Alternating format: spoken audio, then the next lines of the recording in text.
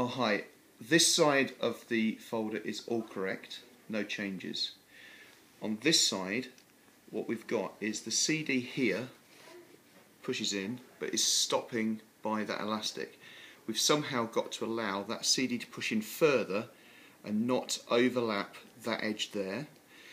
When we've done that, the CD on this side, currently, there's nothing to stop it getting lost all the way, and that too has to stop at about there.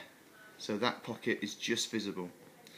The second change relates to this card here, and there is a very small pocket there.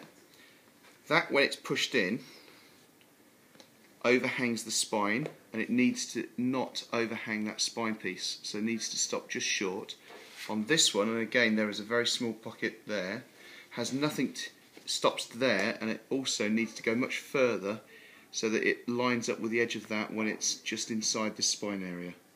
So that when everything's together there is none of this overlap